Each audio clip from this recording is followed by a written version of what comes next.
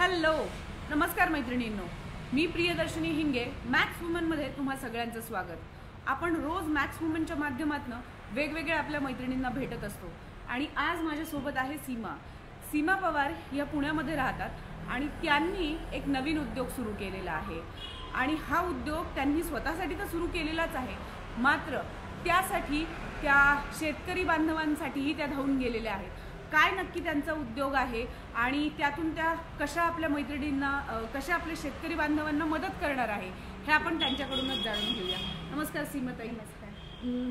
काय तुम्ही नक्की करणार आहात? कुठला उद्योग सुरू केलेला आहे? आम्ही हॉटेल व्यवसाय चालू केलेला आहे.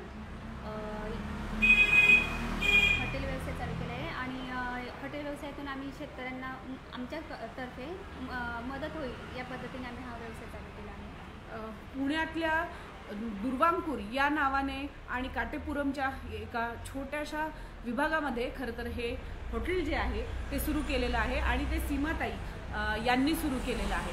हा प्रवास त्यांचा जरी छान असला आणि तो आपण जाणून घेणार असलो तरीही खरं तर त्यांचा जो उद्देश आहे हा उद्योग सुरू करण्यामागे जसं त्यांनी आत्ताच सांगितलं त्याप्रमाणे मुळात शेतकरी बांधवांना या सगळ्यातून येणाऱ्या नफ्यामधनं तुम्ही काही रक्कम बाजूला ठेवणार आहात. हो आम्ही वर्ष वर्ष पूर्ण झाल्यानंतर आम्ही पाच टक्के रक्कम ही शेतकऱ्यांना देण्याचा प्रयत्न. पण व्यवसाय खरं तर आपण सुरू करतो. एक तर मुळात स्त्रियांना व्यवसाय सुरू करणं तसं अवघड असतं. आणि हा व्यवसाय सुरू करताना काय तुमच्या डोक्यात होतं? की असं काही करावं असं का डोक्यात आलं खरं तर? अ, माझ्या माझ्या लग्नाला आता बारा वर्ष झाली ते तर मी म्हटलं आता चला आपण घरातून थोडंसं बाहेर पडूया. मुलं पण मोठी झाली ते तर म्हटलं आपण बाहेर पडून काहीतरी उद्योग करूया. तर मग माझ्या डोक्यात कल्पना आली की आपण हॉटेलचाच व्यवसाय करूया. असं सुचलं मला. म्हणजे बारा वर्ष आधी तुम्ही काही करत होतात का? किंवा हॉटेल व्यवसायाचा काही अनुभव होता का खरं नाही. हॉटेल व्यवसायाचा अनुभव नव्हता पण माझ्या मिस्टरांना अनुभव होता. मग त्या त्यांनी मला थोडीफार मदत केली. म्हणजे सुचवली की आपण कसं करूया वगैरे. पण हे सगळं करताना म्हणजे उद्योग तुम्हाला काहीतरी असं खूप दिवसापासूनच होत असेल ना तुम्हाला काहीतरी सुरू करायचं किंवा मला माझ्यासाठी काहीतरी हो मी लग्नाआधी पाच वर्ष जॉबला होते. तर त्यावेळेस लग्नानंतर मी माझा जॉब स हे झाला क सुटला. तर कंटिन्यू करायची काही घरची परवानगी नव्हती. तर मग खूप वाटायचं की आपण काहीतरी बाहेर पडावं काहीतरी करावं. पण मुलंही लहान होती मुलांना सांभाळण्यामध्ये हे झालं. तेव्हा आता मुलं मोठी झाली म्हणून म्हटलं चला आता आपण बाहेर पडूया आणि काहीतरी करूया.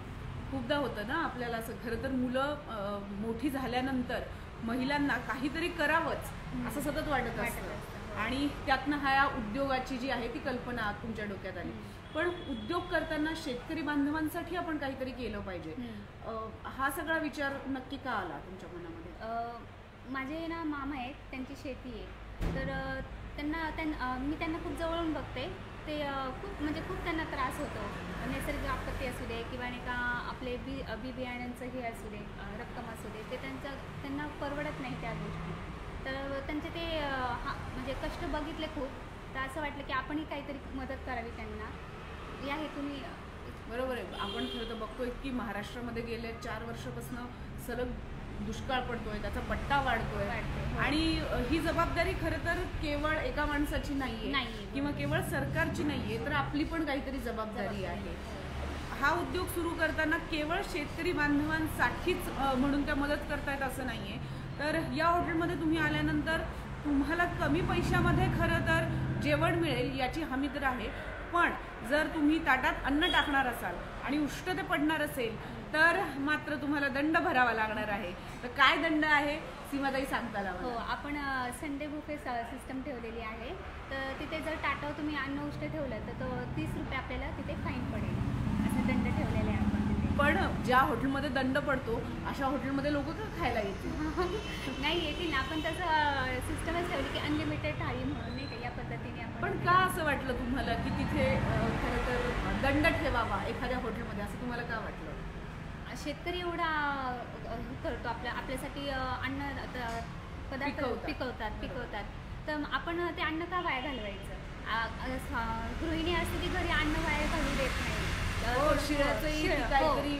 हो, नवीन तयार नवीन करते. पदार्थ तयार करते मग मला वाटलं की इथे आपण एवढं कस्टमरला हे करणार ग्राहकांना देणार आणि ग्राहकाचं अन्न वाया घालून देणार ते योग्य नाही आहे म्हणून म्हटलं चला आपण नाही का दंड ठेवूया म्हणजे त्याच्यावर पण लिमिट येईल ग्राहकांना की आपण जेवढं हवं तेवढंच. घ्यावं कारण आपण पण बघतोय की वेगवेगळ्या हॉटेल्समध्ये जे आहे ते खरं तर प्रत्येक रात्री जे आहे अन्न बरंचसं राहतं. आणि त्या प्लेटमध्ये राहिलेलं अन्नही ते फेकून देतात. त्यामुळे उत्पादन जरी जास्त प्रमाणात झालं आणि कदाचित आपल्यालाही परवडत असेल किंवा आपल्याला अफोर्डेबल असं वाटत असलं तरी मुळात राष्ट्रीय संपत्तीचं आपण नुकसान करतो एका दृष्टीनं.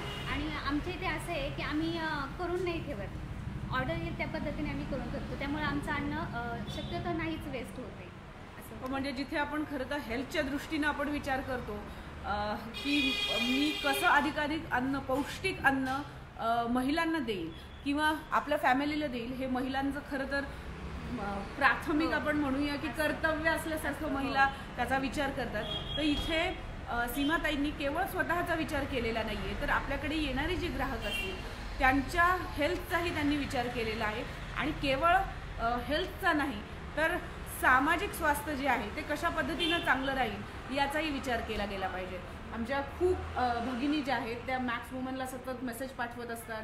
अनेकदा त्यांचे काही पर्सनल प्रॉब्लेम्स आहेत त्याही शेअर करत असतात.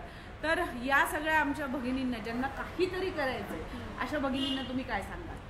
मी माझ्या सोबतच्या भगिनींना सांगेल की नाही का तुमच्या मनामध्ये जे काही करण्याची इच्छा असेल ते तुम्ही नक्कीच करावं. संकटही येत राहतात त्यातून आपण बाहेर पडून त्याच्यावर. मात केली पाहिजे. आणि आपण एक बघतोय की महिला ह्या केवळ स्वतःचा विचार करत नाही तर स्वतःबरोबर त्या आपल्या पूर्ण कुटुंबाचाही विचार करतात म्हणजे आपण बघतो की घरामध्ये जर एखादी पोळी शिल्लक राहिली आणि सगळेच जेवत असतील तर अनेकदा ती महिला त्याचे तुकडे करते आणि सगळ्यांना समान वाटते पण स्वतःचा वाटा ती अनेकदा उशिरा घेते हो. त्यामुळे समाजाच्या हिताचाही आपण विचार केला पाहिजे आणि अर्थात आपल्या हिताचाही त्याच्यामध्ये सहभाग असला पाहिजे. सीमाताई थँक्यू तुम्ही इथे आलात आणि आमच्या ह्या सगळ्या मैत्रिणींशी गप्पा मारल्या त्यांचे काही प्रश्न असतील तर त्याही मी तुम्हाला नक्की